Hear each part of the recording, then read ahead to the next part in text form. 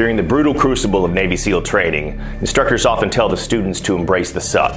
This phrase conveys the one lesson vital for any SEAL hopeful to learn to lean into the suffering and get very comfortable being uncomfortable. In this powerful, no nonsense guide, I teach you how to transform every area of your life the Navy SEAL way.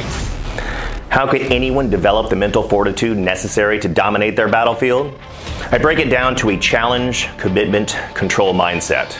I reveal how resilient people view difficulties as a challenge, where obstacles and failures are a blessing and opportunity for growth.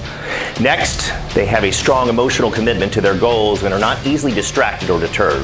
Finally, resilient people focus their energy on things within their control rather than fixating on factors they can't impact.